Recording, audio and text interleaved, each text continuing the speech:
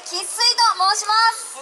はい東京学生生粋、えー、2016年の作品「花舞台」はこの川崎を境をもって踊り納めとなります、えー、ちょっとこのチームの、えー、紹介させていただきますと、え東京学生と言っておきながら20代後半30代40代まで幅広く所属する、えちょっと詐欺みたいなチームになっておりますけれども。はい、え笑顔元気若さはどこにも負けないと自負しております。どうぞよろしくお願いいたしますよろしくお願いしますそれでは参ります時を刻み土返し力。空なる未来へ新たな幕開け。東京学生喫水花舞台。